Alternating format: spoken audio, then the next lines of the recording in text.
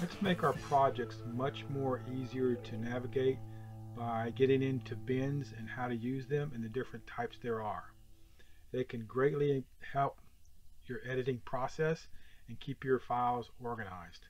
But real quick, first thing I want to show is naturally you'll show your disk drives over here. I'll just talk real quickly about favorites. This helps you set up any type of directory that you are always going back to. For example, I'll go over to um, my video editing and I have an audio folder and I can right click on it and say add folder to favorites.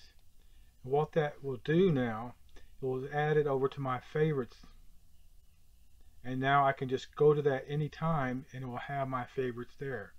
If I decide that I don't want to use that as favorites anymore, by just right clicking on it I can say remove as favorite and it just takes it out of my list. So that was just real quickly to show you that. Now let's get into bins. There's three types. There's your standard bin, there are smart bins, and there are power bins. And I'll cover each one individually. First of all, we'll just go with regular bins.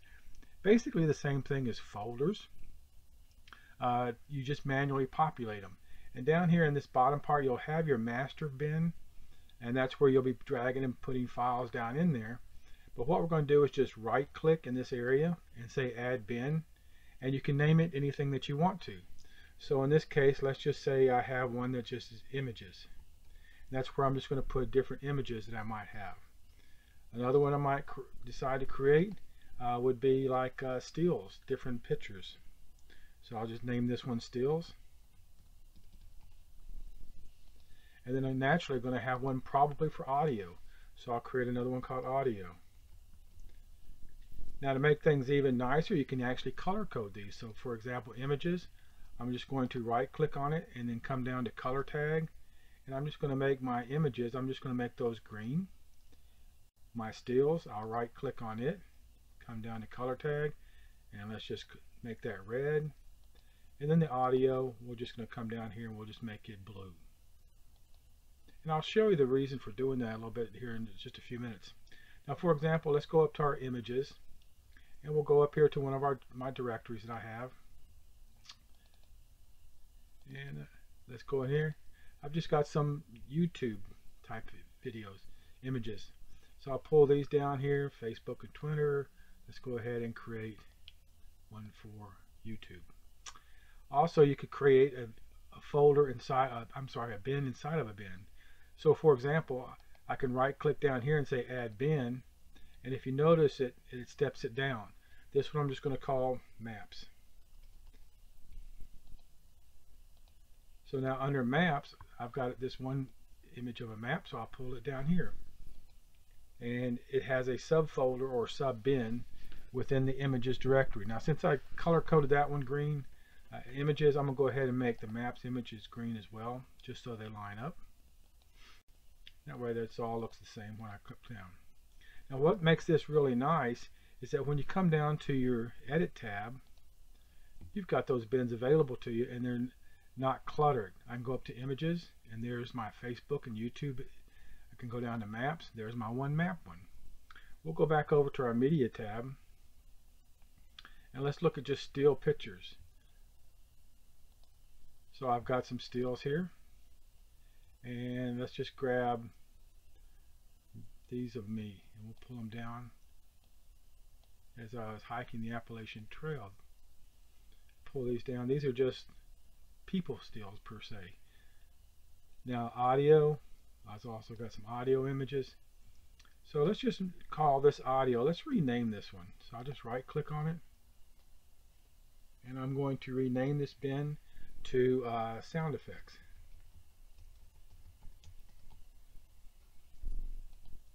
and I have one here that's called uh, effect of a popping sound and effect of a swooshing sound. Do that one as well.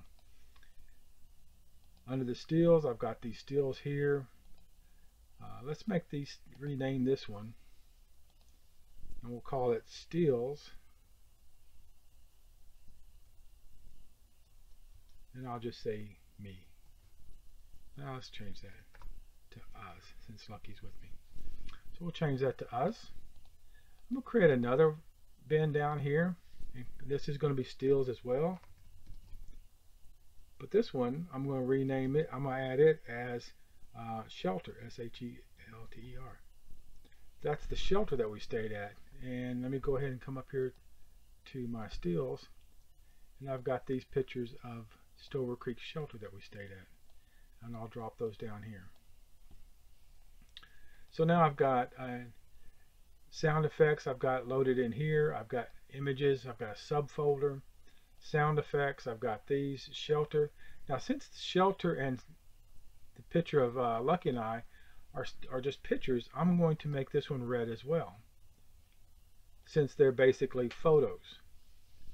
Now then, the reason I did that is for sorting purposes.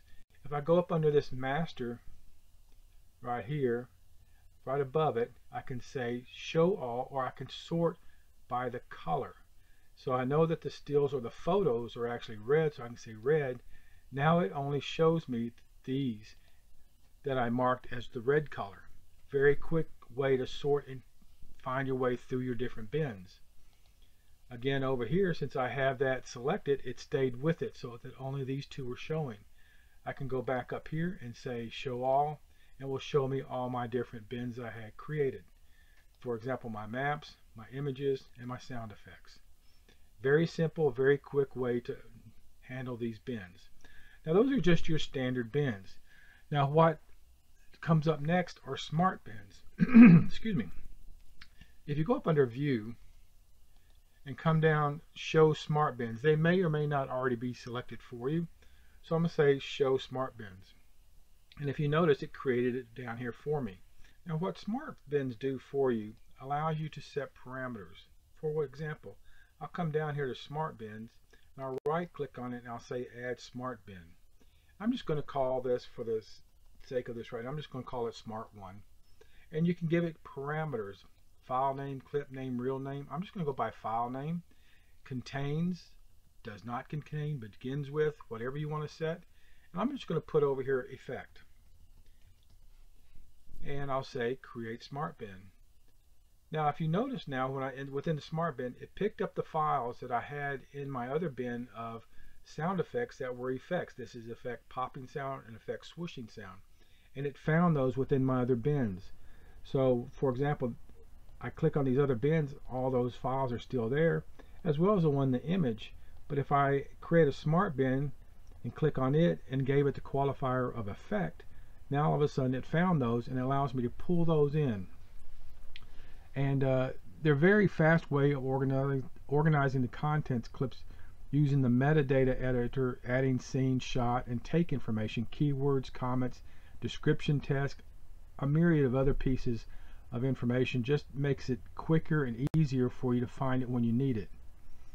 And that's a smart bin. Very, very good to use.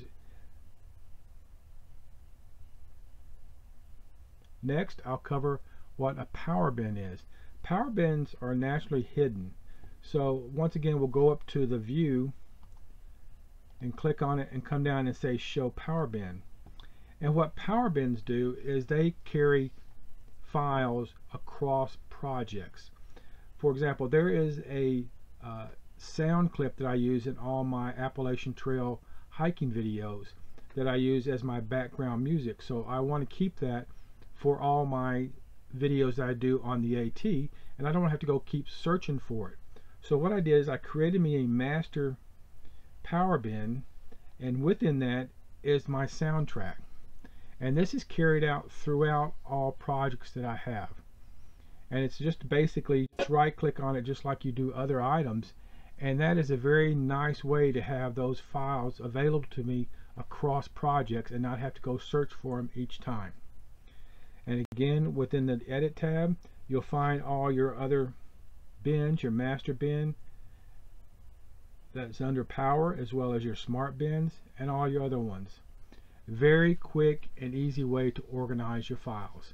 I would highly recommend them and it keeps it from getting so cluttered over in your media tab. One other thing I'll just touch on real quickly is if you right click on these and it says open as a new window it brings it up into a new window so now you have all your sound effects your master bins, your smart bins, all in this available window that you can move around. If you're using dual monitor but still using DaVinci Resolve under the single monitor, you, you can actually slide this over into your next window or your other monitor. And that way you can have it sitting over on another monitor and still have your regular DaVinci running over here. Very quick and easy way to, to get it going. I hope you found this informative. If you did, please like, comment, and subscribe below. Thanks for watching.